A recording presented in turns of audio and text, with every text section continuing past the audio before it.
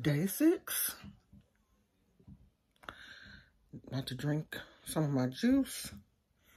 And then I might eat some fruit or something since that's just, um, what is in there? Let me think. I'm having brain fog.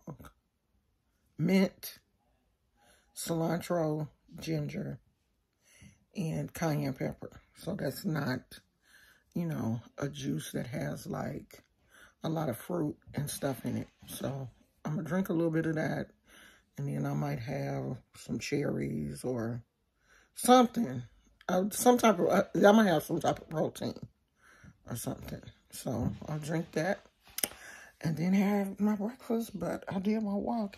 It was kind of not super windy but the sun is not in the backyard yet, so I didn't sweat a lot. I did sweat a little bit, but I walked about 20 minutes. So I'm getting better. I'm feeling stronger and everything in just a week. So y'all get out there, okay? I'll talk to you guys later. Bye. Hey, y'all. So day seven is in the can. I got up, I guess it's about 9.30. Put this headband on and just got out here. I didn't feel like doing it today. I definitely was not feeling it today. But I did it anyway. I know I have to do it. So I got out here. I got up. I did my walk. Now I'm going to drink some protein and get my day started. You got to do it.